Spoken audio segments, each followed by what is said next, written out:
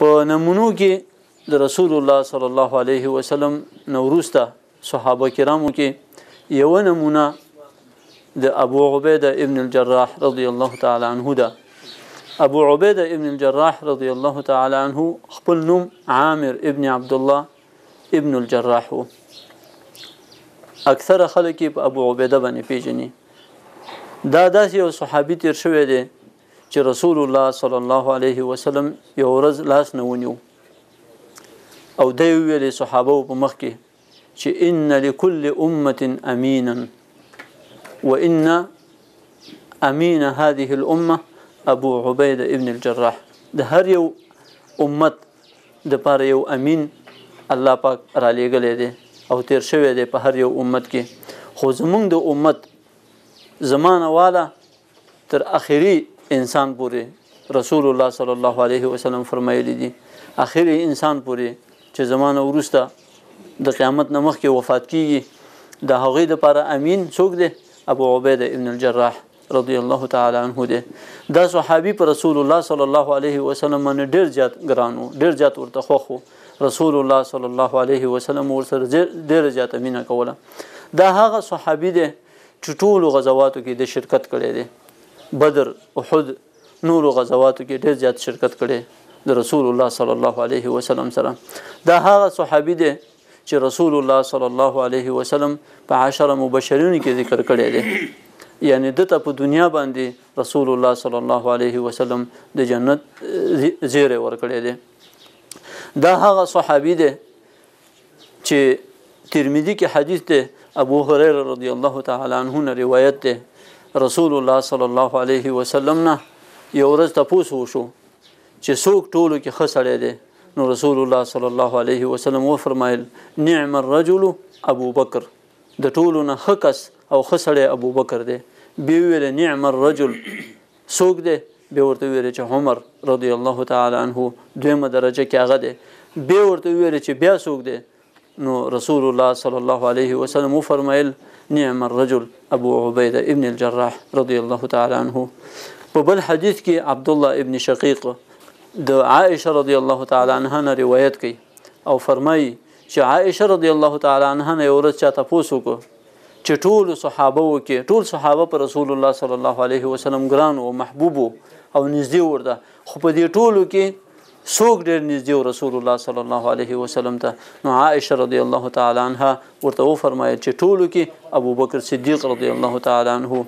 به ونه تاسو کو چې د دین ورسته څوک قرباني ګرانو پر رسول الله صلی الله علیه وسلم باندې عائشه رضی الله تعالی عنها وته فرمایي چې دا غین ورسته عمر ابن الخطاب رضی الله تعالی عنه بیا ونه تاسو چې ثم من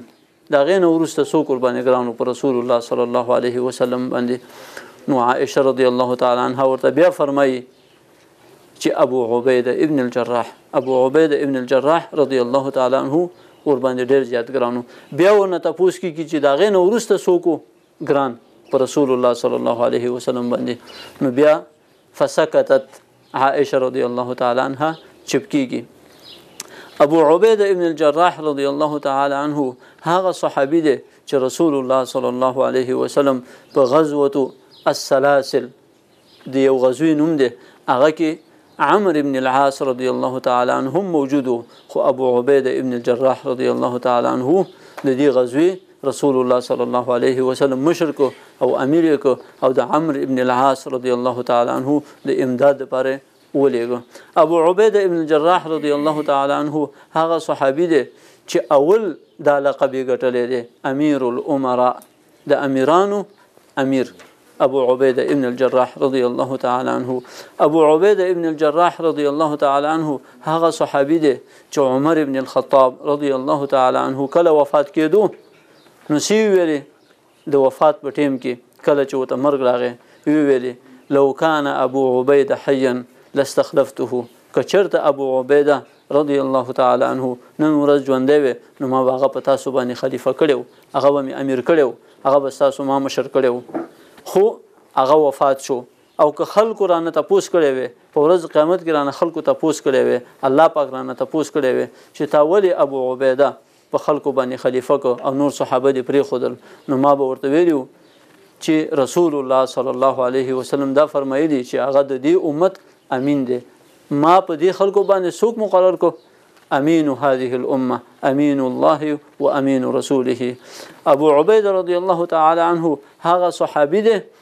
چې عمر ابن الخطاب رضی الله تعالی عنه کله خلیفه شو نو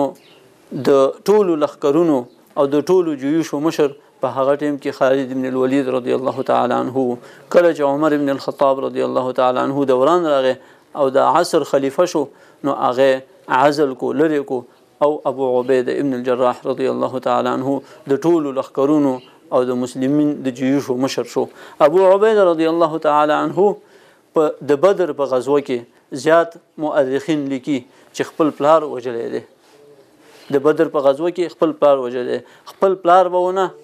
نه بچ کېدو د بزان بچ کوو د غزوې په دوران کې د جنگ په دوران کې خو ابو عبید رضی الله تعالی عنہ به ونه ځان خپل او دی په لکو اخر هغه ونه نه بچ کېدو نو ابو عبید رضی الله تعالی عنہ هغه مړکو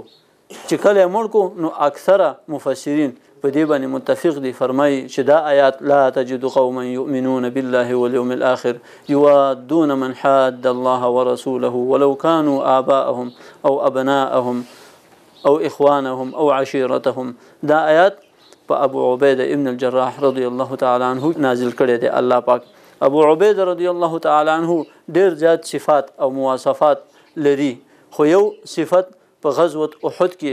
رسول الله صلی الله علیه وسلم سره د ثابت شوی دی ابو عبید رضی الله تعالی عنه قتل په یو وار باندې چې یو سهم یعنی غش را روان دی د رسول الله صلی الله علیه وسلم په طرف باندې کفار ولی نو ابو عبید رضی الله تعالی عنہ دا ګوري او یو دم خیس کوي او هغه زیت ځان رسي کم زیت چې غش را رسیږي نو اماغه چې کله یې خېز کړو هغه غشی رسول الله صلی الله علیه وسلم باندې ولګېدو او رسول الله صلی الله علیه وسلم چې کوم د جنگ حربه په سر باندې و خولې په سر و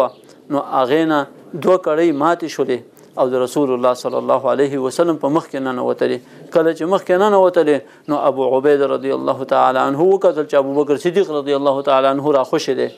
غواړي چې دا دواړه وباسي